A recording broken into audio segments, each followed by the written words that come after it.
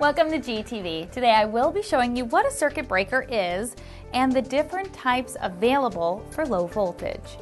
Circuit breakers are used to provide circuit protection for devices down the line from incoming power.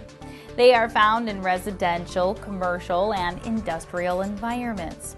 Unlike fuses, circuit breakers are resettable and once tripped, due to an overload condition or short circuit, the unit can be reset back to normal operation. Circuit breakers can have a trip curve that allows for a certain amount of overload to occur without tripping for a period of time. This can prevent nuisance tripping. There are two major types of circuit breakers for low voltage molded case and miniature circuit breakers. Most residential circuit breakers are miniature circuit breakers and tend to be smaller in size with a rating of 15 or 20 amps. They provide protection from short circuits and overcurrents and are single pole breakers.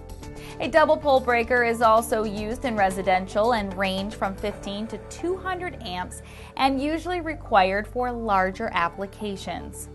GFCI breakers are similar to a single pole breaker, but also provide protection from line to ground faults.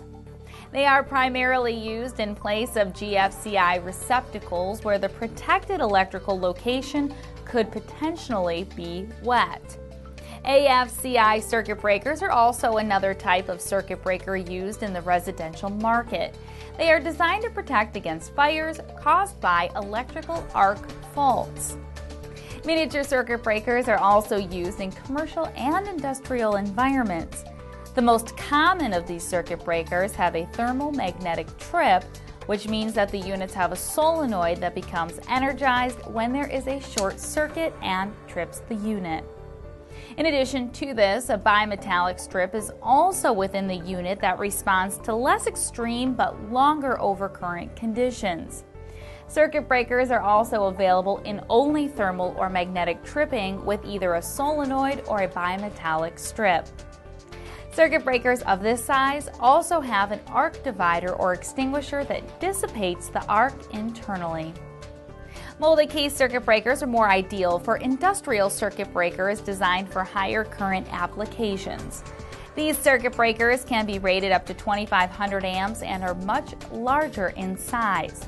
They are also usually thermomagnetic but are available with electronic trip mechanisms. The electronic circuit breakers typically have adjustable current and trip settings. Molded case circuit breakers can have auxiliary contacts, shunt trips, or an under voltage release to help further the functionality of the device. Molded case circuit breakers generally have an arc chute that surrounds the contact. This draws out the arc as the contact opens and then safely extinguishes the arc through its unique design. To find out more about circuit breakers, please check out our other videos on GTV. Circuit breakers, along with thousands of other products and services, are available at galco.com.